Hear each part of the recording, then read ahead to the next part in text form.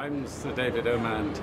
I'm a member of the Global uh, Commission on Internet Governance that has been meeting here in Bangalore, coinciding with the 360 degree conference that Synergia has been uh, running. It's been an eye opening experience to be in the heart of digital India.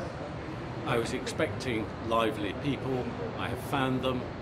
Uh, we've had some excellent presentations, good discussions, but most of all, perhaps, the real value has been in being able to meet outside the conference uh, the, those who are uh, making such a difference in terms of cybersecurity in India.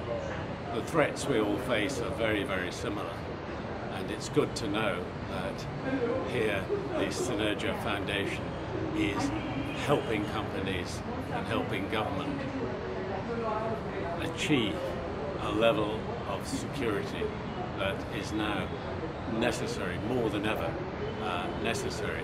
Looking to the future, I predict a very bright future uh, for Bangalore, for the uh, digital India. The Prime Minister's message of uh, digital India is a very powerful one, but it will need that effort from the cyber security sector uh, to keep us all safe. And I wish you very